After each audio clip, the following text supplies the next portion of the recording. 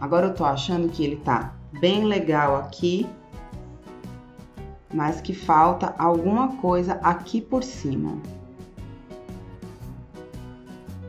Ele tá bem mais preenchido na parte de baixo do que de cima.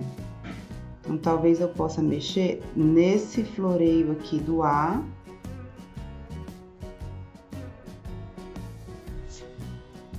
Deixá-lo um pouquinho mais complexo.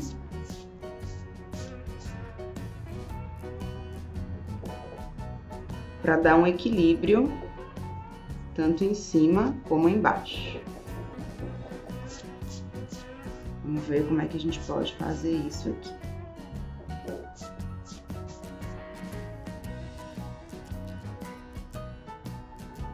O mesmo tipo de floreio.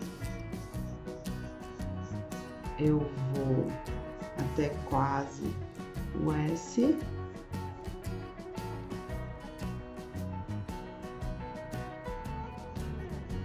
E volto aqui pro pingo do I.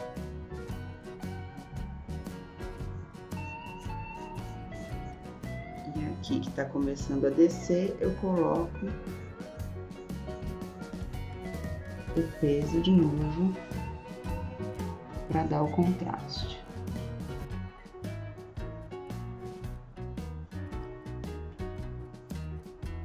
Agora eu já gosto bem mais do resultado.